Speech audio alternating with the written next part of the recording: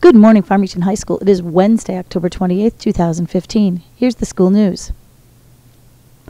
Today's lunch choices are pepperoni pizza or barbecue pork on a bun. Picture retakes for students in grades 9 through 11 will be on Wednesday, November 4th. Students who ordered packets and need retakes must bring their original packet with them. Anyone who missed picture day will also need to have their pictures taken on this day since this is the last chance you'll have to get your picture in the 2016 Cardinal Yearbook. Club pictures will be done on this day as well. Student Council meets in Ms. Fuson's room, B16, on Friday, October 30th at 7:30. They will discuss donations to the blood drive. HOSA will meet tomorrow morning before school at 7:30 in the old ISS room. FCA meets during all lunches today. DECA will be selling Boo Grams for $2 at all lunches. Sales end today and deliveries are on Friday.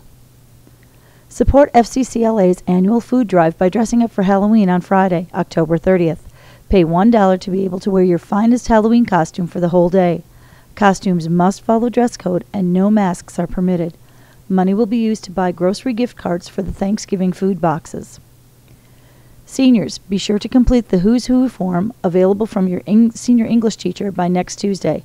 If you do not have an English class, see Ms. Bunsgard for your form. Come by Ms. Fuson's room, B16, between classes to sign up for the Red Cross Blood Drive on Monday, November 16th.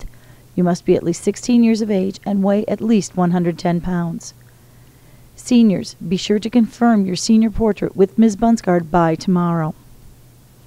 If you have family members who have served or are serving in the U.S. military, please see Coach Scrivener in J11 this week. Two different $1,000 scholarships are available for students interested in fashion or animation careers. Go to www.fashionschools.org or www.animationcareerreview.com. Find the scholarship information section, click on it, and follow the directions to apply for either award.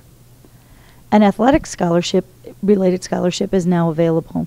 For more information on specific details, go to footlockerscholarathletes.com to enter or see the counselors. It is due December 17th.